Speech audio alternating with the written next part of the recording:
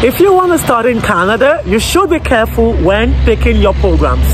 I will be sharing with you courses which are not the best options for international students and also some things that you can consider when choosing a course here in Canada.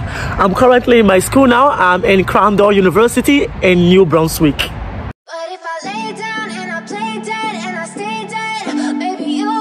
So the first thing you will want to do would be to consider if you would want to remain in Canada after your studies or you would like to go back to your home country. So if you made up your mind that you don't want to stay in Canada after your studies, you can go for an ESL. An ESL is a course that has English as a second language. For this ESL, you would not need a study permit. It is usually between two weeks to one year. And also, you will not be getting a major. In other words, you will not be getting a degree. So it's just like a certification course you would not be getting a postgraduate work permit. In other words, after graduating from this course, you won't be able to get a job or be eligible for working here in Canada because it is not an academic course. But if you want to stay in Canada after your studies, you can opt for pathway programs. This will prepare you for colleges and universities here in Canada without you writing an English text exam. In other words, you would not need to write IELTS or any other English exam that might be needed by your school. In this pathway program, you will be taught academic writing, essays, communication, how to work as a team, and team management. Another type of course that we'll be talking about that you should avoid when you're here in Canada or when you want to come to Canada would be short training courses. So usually the short training courses is for young professionals who would love to gain international experience. With the short courses, you would need to study for about a period of six months. After six months, then you need to work for another six months. And then with the knowledge that you have gained, you can take the knowledge back home to your own country to work for a company or to run your own business. So please also note that for these short training courses, you also will not get a postgraduate work permit apart from the six months in which you will be allowed to work after your six month study.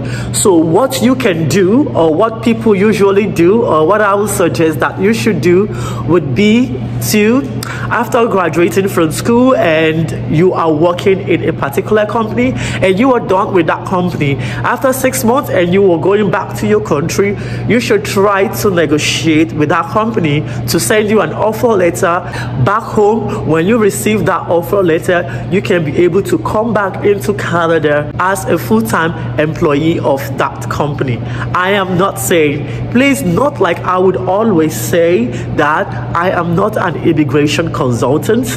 I am not a licensed officer.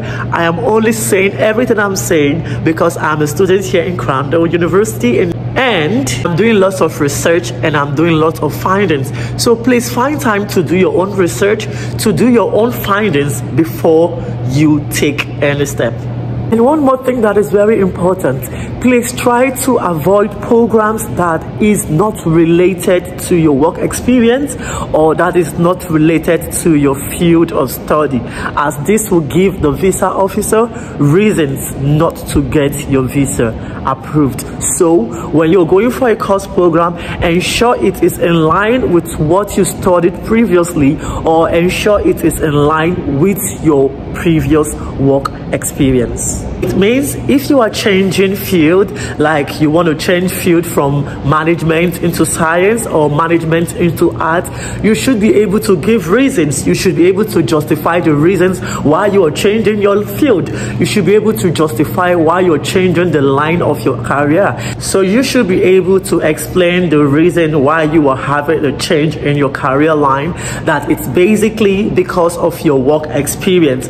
In as much as you were in a particular field all this while, you suddenly want to switch to another field because you have built a work experience in this new area and you would want to further your career on this area.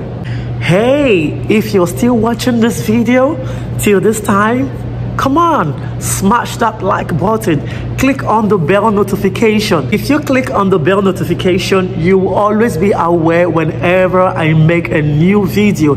And if you click on that like button, I will be so glad and I will be so pleased. Subscribe and share these videos with all of your friends and I'll keep on trying to make videos. You can also send me messages on the comment section on the type of videos that you would want me to make for you guys and I will do my best as always to do the kind of videos that you want and also to answer all of your questions. So drop all of your questions drop all of your suggestion in the comment section. So let's continue so another program that you should avoid should be programs that have limited job opportunities.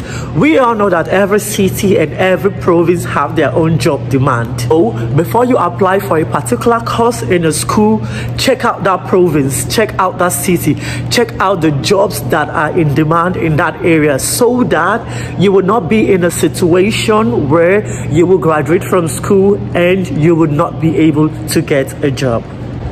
I had a story about a friend who came into Canada and she studied event management.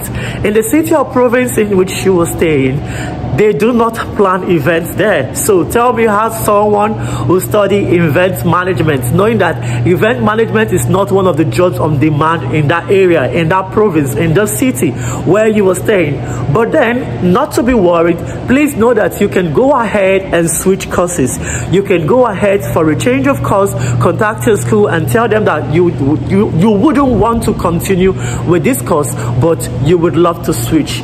Also, you can also um, try to contact immigration and let immigration be aware that you have changed or you are about to change just to protect your visa status. Please do not go for training programs and apprenticeship programs that would be like uh, mechanics, that would be like uh, technicians because these programs might get you fixed at the end of the day that you might not be able to get jobs here.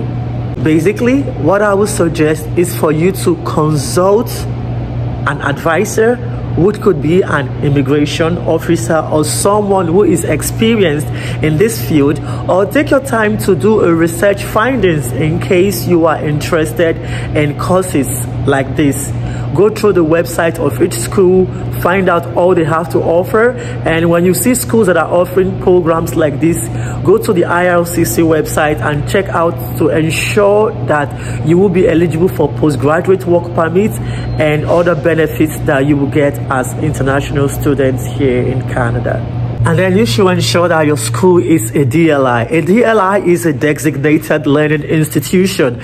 If your school is not a designated learning institution, then there's going to be a pro big problem with your visa because you might not be able to get a postgraduate work permit after your after you graduate from school. Secondly, if you have family, you might not be able to sponsor your spouse. You might not be able to sponsor your kids and your family at large. So always ensure, always try to check that your school is a DLI. After checking it's a DLI, ensure that you are eligible for postgraduate work permits after school. And this brings us to the end of this video. Kindly drop all of your questions in the comment section. I would enjoy having a chit chat with you, getting to hear your experience from each and every one of you and to share more ideas, more suggestions, just as I will be answering all of your questions. So I'm going to see you in the next video. Take good care and bye-bye.